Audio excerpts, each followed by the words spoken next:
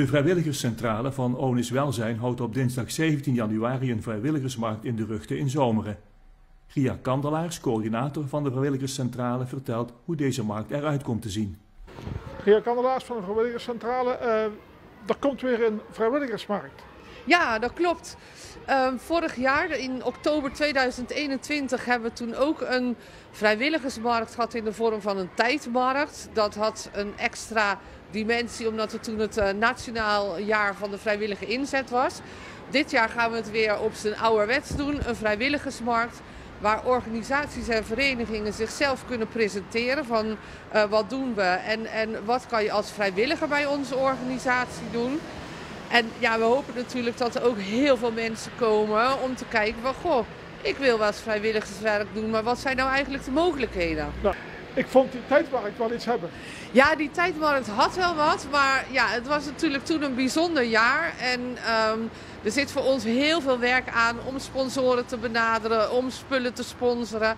En in de zware tijden van nu wil je ook eigenlijk de, de ondernemers ja, niet te veel lastig vallen. Dus we hebben gezegd van we gaan nu echt een vrijwilligersmarkt houden. Die gericht is op de vrijwilligers en op de organisaties.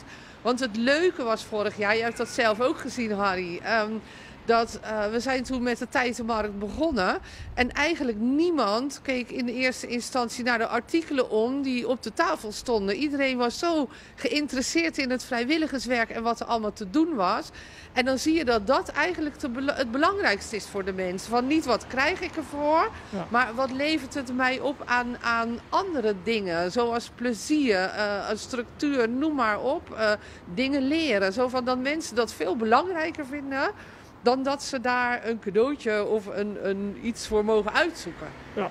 Je vertelt nou heel vrolijk, maar uh, het is op dit moment niet de beste tijd voor vrijwilligerswerk. En, uh... um, nou, de, het, het, vrijwilligers, de verenigingen en organisaties hebben het zwaar als het gaat om vrijwilligers. Um, maar je ziet dat het vrijwilligerswerk verandert. Daar hebben we het vorig jaar ook al over gehad. Mensen willen best nog iets doen voor een ander, maar op hun eigen tijd, wanneer het in hun agenda past. En ja. vaak als het een kop en een staart heeft. Het, het traditionele vrijwilligerswerk van elke woensdagmiddag van 2 tot 4 activiteit, dat zie je steeds minder. Ja. Dus je moet je organisatie en vereniging daar een beetje op aanpassen. En ook laten zien van wat kan er dan wel bij ons, wat in jouw agenda past. Ja, voor projectjes zijn ze nog wel te porren. De mensen zijn nog wel te porren voor Jawel, mensen zijn zeker nog te porren voor vrijwilligerswerk. Zo van, als je nu, nu ziet, een, een voorbeeld uh, uh, van de, de vluchtelingen op de Hoof binnen twee of drie weken waren er gewoon 80 vrijwilligers die wel iets voor een ander wilden doen. Ja. Maar je ziet daar ook heel duidelijk dat dat vrijwilligerswerk is met een kop en een staart. Dat is niet elke dag hetzelfde. Je hebt een stukje eigen inbreng wat je daar, uh, daar kan doen. En dan zie je dat er echt mensen zijn die echt iets voor een ander willen betekenen. Ja, en daarbij nog uh, steeds meer mensen raken aan het werk. Uh, je bent steeds ouder, wil je stoppen met werken. Dus het vrijwilligersbestand gaat natuurlijk ook veranderen. Ja ja, ja. Dat, uh, en daarom zijn we ook vaak op zoek naar jongere vrijwilligers. En je ziet dat, dat als je hen weet uit te dagen uh, met, met vrijwilligerswerk wat bij hun past, dat, dat die ook echt wel te porren zijn om nog wat te doen voor een ander. Zo van, maar ze moeten daarin wel uitgedaagd worden. Ja. En dan vind je ook echt nog jongere vrijwilligers. Ja, we gaan naar de markt. Hoe gaat die markt eruit zien? Nou, de markt gaat er zo uitzien. Het is in de theaterzaal van de Rugte op 17 januari. Um, we hebben dit jaar gekozen voor de avond van half acht tot negen. Omdat um, ja, veel organisaties die draaien op vrijwilligers, die hebben op een de middag uh, weinig tijd. Um, maar ook heel veel vrijwilligers die het naast hun werk willen doen, moeten overdag werken. Dus we hebben voor de vroege avond gekozen. Dan is je avond niet helemaal kapot. Um, het is in de rugte in de theaterzaal. De organisaties en, en verenigingen kunnen zich daar presenteren. Ze krijgen allemaal een tafel ter beschikking. Waar ze door middel van flyers, presentaties, alles kunnen laten zien wat ze uh, te bieden hebben voor vrijwilligers.